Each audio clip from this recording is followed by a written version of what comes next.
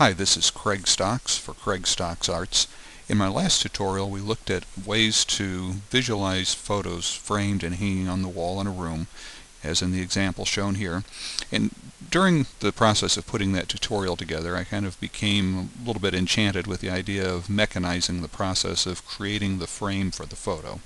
And what I really wanted to accomplish was to mechanically set up a way to go from a simple image to this type of image and allow for some user inputs along the way.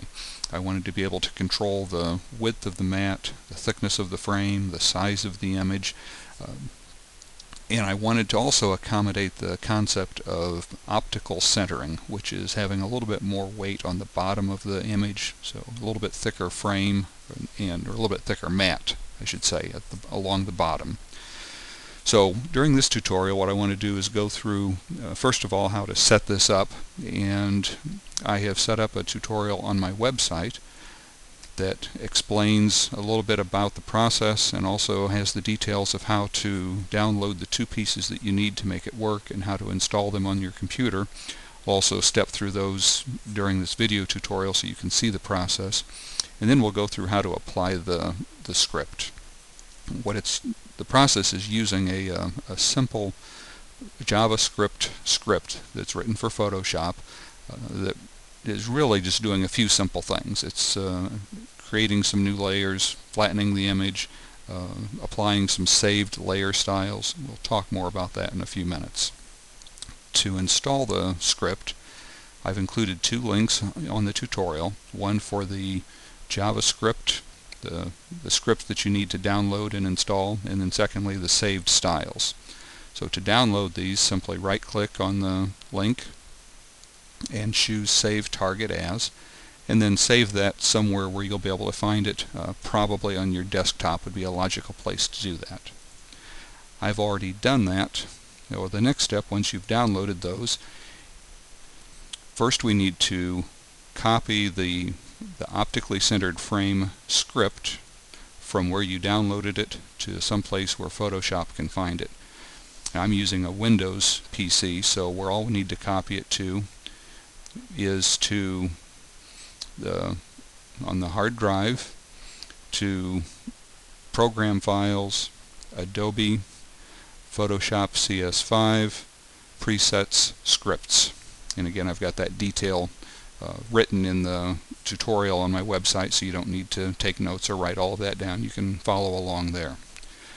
Once you've copied the script over to that folder, and if you're using Windows it'll probably ask you if you're sure you really want to do that, and, and yes you really do. Uh, it won't work if you don't. Uh, once that's copied over, you can then start Photoshop, or if you already had Photoshop running, you'll need to quit and restart it so that Photoshop can find the script. And you can confirm once you go into Photoshop, if you look at File, Scripts, you should see optically centered frame as one of the options. If you don't see that, then very likely you copied that file to the wrong location. The next thing you need to do, Windows is acting up here, is install the layer styles. And to do that, we'll just go to the preset manager. And in the preset manager, choose scripts, I'm sorry, styles, and then load. And again, you'll want to go to where that uh, framestyles.asl folder or file was downloaded and load that and that will add two new layer styles to your styles palette.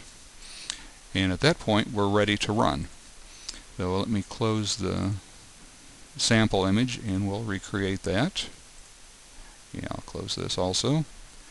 So here's a starting image.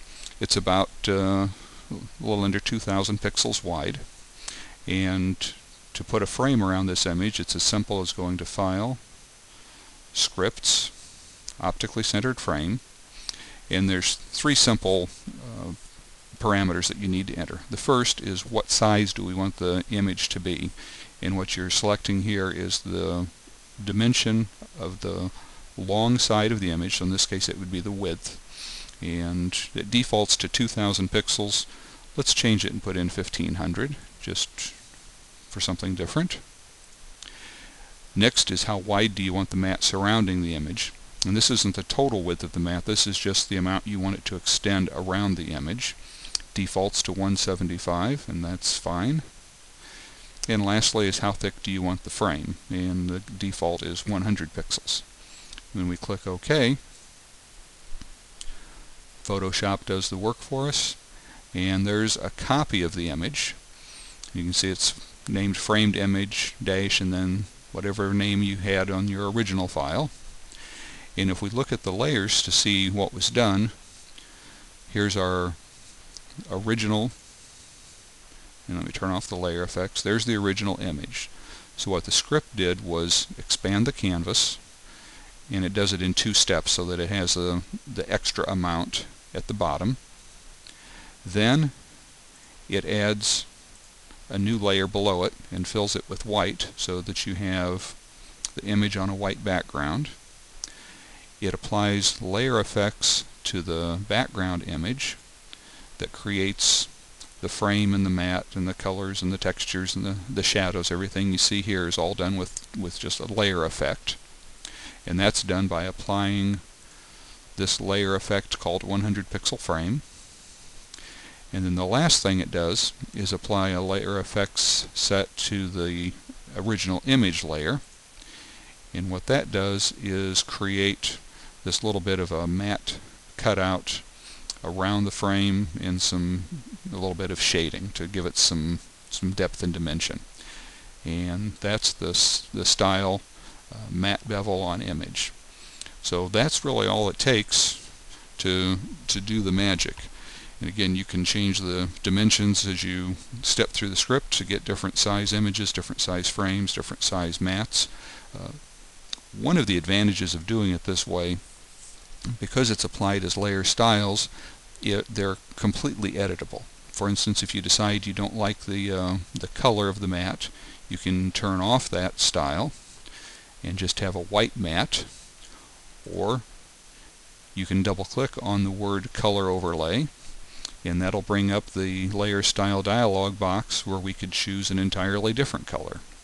Uh, maybe instead of this tan or buff color, maybe we want a, a light blue something like that. Uh, whatever, you know, whatever you think looks best with your image, and you even get to preview it as you're going through the process. There's also it's running a little bit slow. There's also a pattern overlay that gives a little bit of a texture to that mat. Again, if you don't like that, you can turn it off so you can change the color, change the texture, you can change the bevel and emboss settings, and so forth. And if you find that you you frequently want to change the color of this, for instance, or some other feature, you can save a new copy of this 100 pixel frame styles just by going to the style menu and going to the the flyout here I'm sorry. You do that by clicking on the new style button here and you'll get a pop-up to give it a name. Give it the name 100 pixel frame and save it and then you'll have a new updated version of that layer style that the script will apply the next time you run it. Now, as you play with some of the options in the script, one of the other things you can do, maybe you, you like everything but you don't like the frame. Uh, when you run the script, if we enter a value of 0, let's keep the 2000 and let's go with a 250 size mat and let's enter 0 for the size of the frame. And in that case we'll just get a nice white mat without applying the layer styles to the underlying uh, layer that has the frame on it. So a, a width of zero basically gives you no frame, but still gives you an optically centered image on a white background. Now, you may find this useful for posting images to your blog or a website. Uh, you may like to use this for visualizing images. Uh, you may just find it educational to see how the script and the saved layer styles work together. One other note of caution that I would add here. Uh, let me, let's just start with this image. And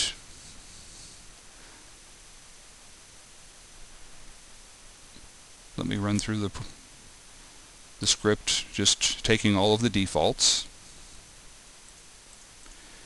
And everything works just fine.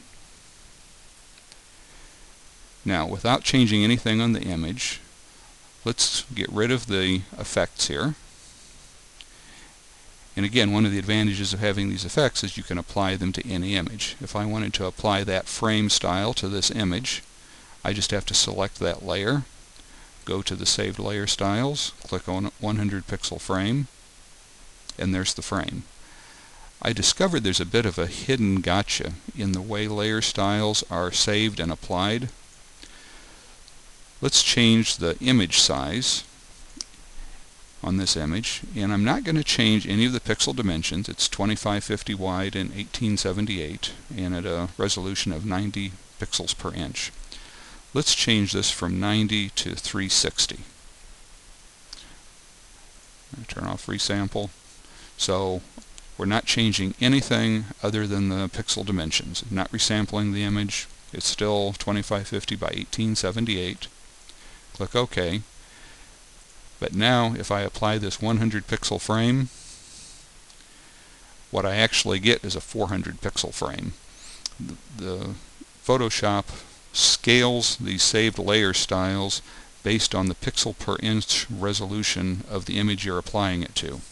I, personally, I don't like that. Uh, I think when I when I save a layer style that has a 100 pixel frame, I expect to get a 100 pixel frame uh, kind of regardless of the resolution of the image. To me, a pixel is a pixel. If I had specified inches, that would be a different matter. But that's the way Adobe has designed it and, and apparently the way they think it should work.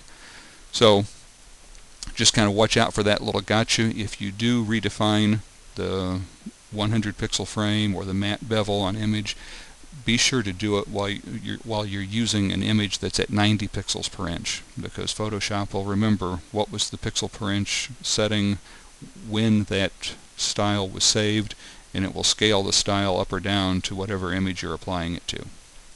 So that's it. I hope you find this useful and informative. And if you have any questions, you can get in touch with me through my website at craigstocksarts.com. Thanks, and have a great day.